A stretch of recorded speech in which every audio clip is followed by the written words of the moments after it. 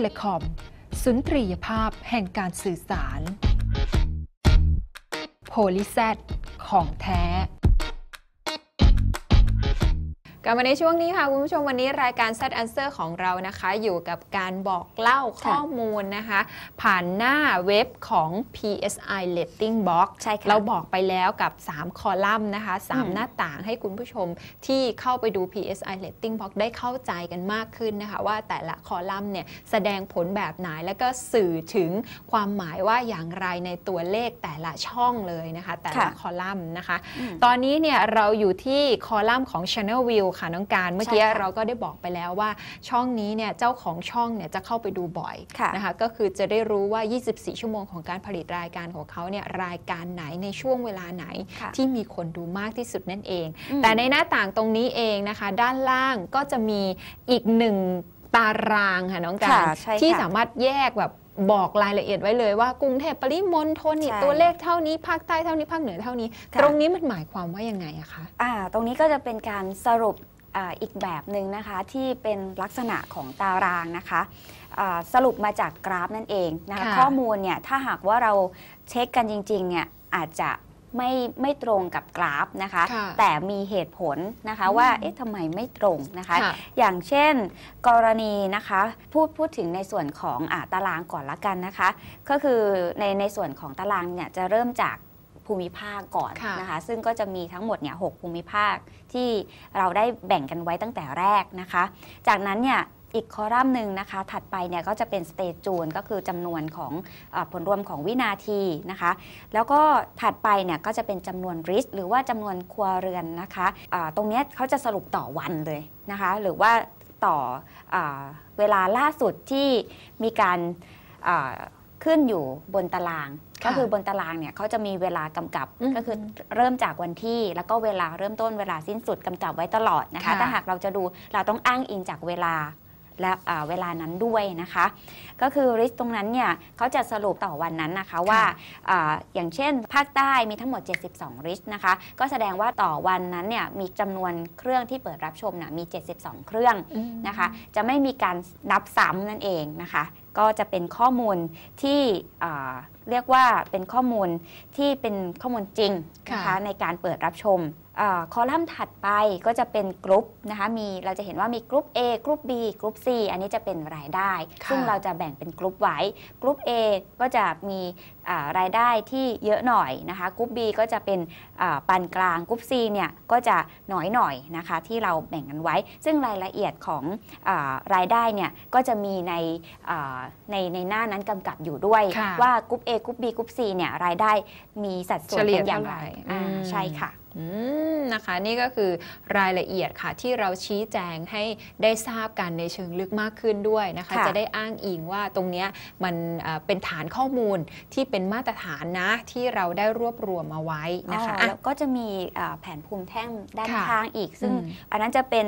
ในส่วนของรายได้อืมซึ่งเวลามองปุ๊บเนี่ยเราจะเข้าใจได้ง่ายขึ้นเข้าใจได้ง่ายขึ้นว่าค่ะคนดูรายการนี้หรือว่าคนดูช่วงเวลานี้เนี่ยอ่า รายได้เนี่ยส่วนใหญ่เป็นรายได้เป็นกรุ๊ป A หรือว่ากรุ๊ป B กรุ๊ป C นั่นเองนะคะ อันนี้มีผลมาก ๆ นะคะ ต่อค่ะการขายสินค้าหรือว่าขายโฆษณา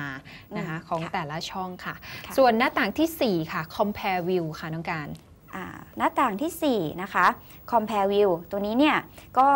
สำหรับอ่าที่ใช้เปรียบเทียบ ช่องรายการอื่นค่ะๆก็คือมีช่องรายการเรานะคะ เปรียบเทียบกับช่องรายการอื่นๆ ที่อาจจะเป็นแนวเดียวกันค่ะนะคะ รูปแบบรายการคล้ายๆกันอะไรอย่างเงี้ยค่ะ ก็สามารถที่จะ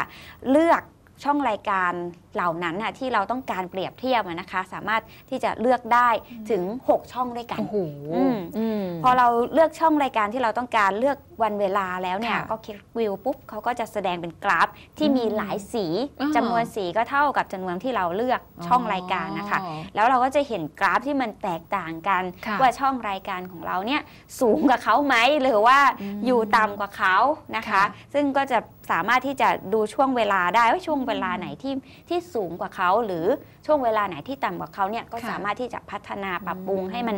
สูงกว่าเขาได้อะไรอย่างนี้ค่ะนอกจากที่คุณผู้ชมจะดูแบบ Channel View แล้วนะคะ ซึ่งดูเฉพาะช่องตัวเองเนี่ยคุณผู้ชมสามารถที่จะนำกราฟของช่องตัวเองเนี่ยมาเปรียบเทียบกับกราฟของช่องอื่น ๆ ด้วยนะคะ กับค่ะคอลัมน์ของ Compare View อืมคุณผู้ชมกดแล้วก็ลองเลือกดูว่าคุณผู้ชมเนี่ยจะเปรียบเทียบกับช่องไหนค่ะนะคะโดยเฉพาะคนที่เป็นเจ้าของช่องเนาะโอเคอะเจ้าของช่องนะคะสามารถที่จะดูได้ว่าเอ่อเอ่อตัวเองทำรายการตลอด 24 ชั่วโมงเนี่ยได้เรตติ้งแบบนี้นะคะ ตัวค่ะกราฟขึ้นสูงบ้างต่ำบ้างอืมแต่ถ้าต้องการที่จะเปรียบเทียบกับ ช่องอื่นๆ ที่มีรายการประเภทเดียวกันนะคะว่าเราชนะเขาหรือเปล่ามีคนดูมากกว่าเขาหรือเปล่า ก็สามารถที่จะดูได้จากหน้าต่างของ Compare View ได้เลยอืมนะคะนอกจาก Compare View ที่เราจะเปรียบเทียบแล้วนะคะ ก็จะมีเอ่อหน้าต่างของ Segment ด้วยค่ะ น้องการ ค่ะเซกเมนต์เนี่ยจะ เป็นเกี่ยวกับประเภทของช่องรายการนะคะอันนี้แยกตาม Smart Move ป่ะคะคือไม่เหมือนกันมากค่ะคล้ายกันนะคะอืมอืมก็อย่างเช่น drama and series นะคะค่ะ entertainment movie music นะคะมี news นะคะแล้วก็มีสปอร์ตด้วยค่ะอืม เรามีการจัดหมวดหมู่ช่องรายการตามประเภทของรายการนะคะค่ะคล้ายๆ กับหมวดของ Smart Move แต่ในเรื่องของการวัดเรตติ้งเนี่ยก็คืออาจจะมีเฉพาะบางช่องนะคะที่มีเรตติ้งขึ้นแสดงให้เห็นจริงๆค่ะนะคะเพราะว่าบางช่องที่เราเอาเข้าไปเนี่ยคือเรตติ้งไม่ขึ้นเลยก็มีใช่ใช่เราก็เลยพูดถูจำเป็นต้องตัดออกบางทีนะคะเนี่ยเอ่อคุณอาจจะข้องใจว่าทำไมไม่มีช่องค่ะรายการ ของฉันอยู่เนี่ยเออเอออะไรอย่างเงี้ยเออแต่คือเราก็หวังดี บางทีอะบางทีเราก็หวังดี เพราะว่ามันบางทีเส้นมันไปอยู่ข้างล่างเลยอะค่ะคือมันมองไม่เห็นประเมินเป็นตัวเลขออกมาเนี่ยแบบยากนิดนึงใช่ว่าอย่างค่ะนั้นเพราะว่าเอ่อกราฟเนี่ยต้องบอกก่อนว่าเขาจะมีการซูมด้วยนะค่ะถ้าเกิดว่ามันน้อยนะคะ สมมติว่ามีเส้นเดียวค่ะมีเส้นเดียวแล้วค่าน้อยเนี่ยเขาก็จะซูมเข้าไป บางทีคนช่องรายการนั้นนะมีคนเปิดดูน้อยไงค่ะชั่ชั่วโมง ชั่วโมงหนึ่งผ่านไปอาจจะมี1งหนึ่งบล็อกเครื่องหนึ่งอืมบล็อกที่เปิด หรือว่าชั่วโมงหนึ่งผ่านไปมี 2 box ค่ะเขาก็จะขยายเป็นศูนย์ศูนย์จุดห้าหนึ่งอะไรอย่างเงี้ยค่ะอ่าถ้าเกิดว่าช่องรายการไหนที่มันแบบตัวเลขเขาเยอะอะแต่ว่าช่องรายการบางช่องตัวเลขน้อยอะบางที ช่วงอ่การช่องเปรียบเทียบการดูก็อาจจะยากนิดนึงอ่ายากนะคะเราก็เลยเอาออกไปดีกว่า อ๋อเราก็เลยเลือกเฉพาะกลุ่มที่คิดว่าโอเคมีเรตติ้งที่อาจจะใกล้เคียงกันมีค่ะคนดูที่นิยมดูช่องนี้มากหน่อยนะคะ ก็มาเปรียบเทียบให้เห็นสำหรับการแยก segment ของช่องนะคะ ตรงนี้อย่างที่น้องการบอกค่ะ ก็คือจะแยกเป็นหมวดหมวดหลายหมวดเช่นเดียวกัน ไม่ว่าจะเป็นการ์ตูนเป็นดราม่าเป็น entertainment เป็น movie music เป็น news เป็นสปอร์ตนะคะ ค่ะ นี่ก็คือหน้าต่างของการดูนะคะเกี่ยวกับ rating box ของ PSI อืมแล้วหน้าต่างของ provider ล่ะคะน้องการ provider นี่นะคะก็จะเป็น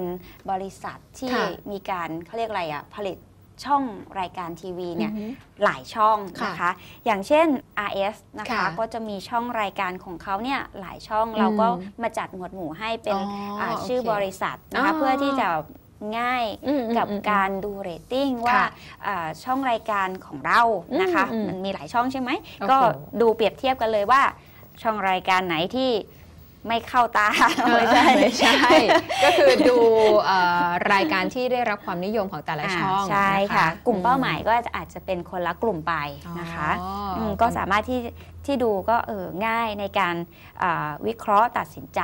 นะคะอืมส่วนคอลัมน์อื่นๆนะคะที่เอ่อคนที่เข้าไปดูนะหน้าเว็บไซต์ของ PSI Rating Box เนี่ยก็อาจจะสงสัยว่าเอ๊ะทำไมมันจางๆ แล้วก็กดไม่ได้ ตรงนั้นเนี่ยอาจจะเป็นข้อมูลเชิงลึกที่อืมไม่สามารถเปิดเผยได้นะคะค่ะตรงนี้ก็คงจะพอเข้าใจเนาะแล้วก็ข้อมูลที่เราเปิดเผยเนี่ยเป็นข้อมูลที่สามารถที่จะอ้างอิงได้เลยใช่นะคะเพราะเป็นข้อมูลแบบ real-time แล้วก็สิ่งที่ PSI ทำเนี่ยก็คือทำจริงนำบล็อกตัวเนี้ยซึ่งมีประสิทธิภาพมากกว่าเครื่อง receiver ธรรมดา ไปติดตั้งที่บ้านลูกค้าได้จริงข้อมูลทั้งหลายแหล่เนี่ยสามารถตรวจสอบได้ใช่แล้วก็คนอาสา test สมัครคนเทสนะคะคน testและคนไปเยี่ยมลูกค้า rating box คนไปติดตั้งด้วยคนไปติดตั้งด้วยอ่าค่ะนะคะก็ตรงนี้เองค่ะก็ถือว่าเป็นอีกก้าวหนึ่งนะคะของค่ะการพัฒนาอุตสาหกรรมทีวีดาวเทียมของประเทศไทยเนี่ยอืมให้มีศักยภาพมากขึ้นในการที่จะอ่าขายโฆษณาก็ดีนะคะในการที่จะยืนยันว่าช่องทีวีดาวเทียมตอนนี้มีคุณภาพเทียบเท่ากับช่องฟรีทีวีทั่ว ๆ ไป เผลอๆ บางช่วงเวลาเนี่ยทีวีดาวเทียมมีเรตติ้งที่สูงกว่าฟรีทีวีด้วยซ้ำใช่นะค่ะคะตรงนี้เนี่ยจะบอกไม่ได้แล้วว่าช่องทีวีดาวเทียมเป็นช่องที่ผลิตรายการไม่ได้คุณภาพ ช่องทีวีดาวเทียมเป็นช่องที่มีแต่การขายสินค้าอาจจะไม่ใช่อย่างนั้นนะคะ เพราะว่าอ่าเนื่องจากว่าสิ่งที่เรตติ้งเอ่อ แสดงออกมาให้เราเห็นเนี่ยเราก็วัดได้ว่าเราเป็นคนเอ่อทำรายการที่มีคุณภาพหรือเปล่านะคะค่ะทำรายการแล้วมีคนดูไหม ถ้ารายการไม่ดีจริงเนี่ยคนเขาไม่ดูเรตติ้งค่ะก็ไม่ใช่ขึ้นอยู่แล้ว ใช่ค่ะ จะไป make ยังไง ก็คนไม่อยากดูอะค่ะ มันก็มันก็ make ไม่ได้ ค่ะ มันก็ต้องการที่จะดูช่องอืมรายการที่เราชื่นชอบอย่างเดียวค่ะอืมอืม ตรงนี้คือความจริงนะคะ สามารถอ้างอิงได้แบบล้านเปอร์เซ็นต์ค่ะ นี่คือค่ะข้อมูลดีๆนะคะ ที่เรานำมาอัปเดตให้คุณผู้ชมได้ทราบค่ะ แล้วก็ขอย้ำนะคะสำหรับใครที่อยากจะเป็นคนหนึ่งที่เข้าไปดู rating box แบบ ละเอียดเลยค่ะนะคะ ส่ง SMS เข้ามาค่ะพิมพ์คำว่า PSI และส่งเข้ามาที่เบอร์ 086 376 3471 ค่ะอืมนะคะก็จะมีทีมงานโทรไป เพื่อที่จะสอบถามข้อมูลนิดๆหน่อย ๆ แค่นั้นเองนะคะ แล้วก็จะส่ง username password ให้คุณเข้าไปดูเรตติ้งได้เลยนะคะ นี่ค่ะคือข้อมูลดีๆ ค่ะ ที่เราเก็บมาฝากนะคะแซนเซอร์วันนี้หมดเวลาแล้ว คงต้องลาไปเพียงเท่านี้ สวัสดีค่ะ สวัสดีค่ะ